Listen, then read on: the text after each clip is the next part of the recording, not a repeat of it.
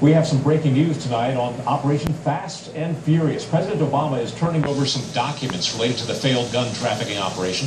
In January, a federal judge ruled the administration cannot use executive privilege to keep the records from Congress. The president's refusal to relinquish the documents over a period of years led to a rare contempt of Congress citation against then Attorney General Eric Holder.